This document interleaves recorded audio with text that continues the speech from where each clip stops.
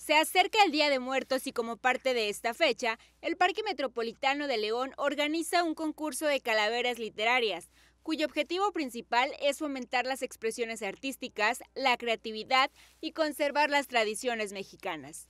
Es muy sencillo participar, solo deben enviar a las redes sociales del Parque Metropolitano el texto de su calaverita, que debe tener como mínimo cuatro estrofas, haciendo referencia al Parque Metropolitano o a la naturaleza, Junto con el texto también se debe enviar tu nombre completo y número de contacto.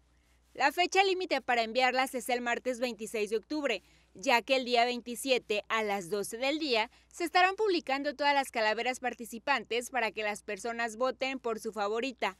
La ganadora será elegida mediante likes.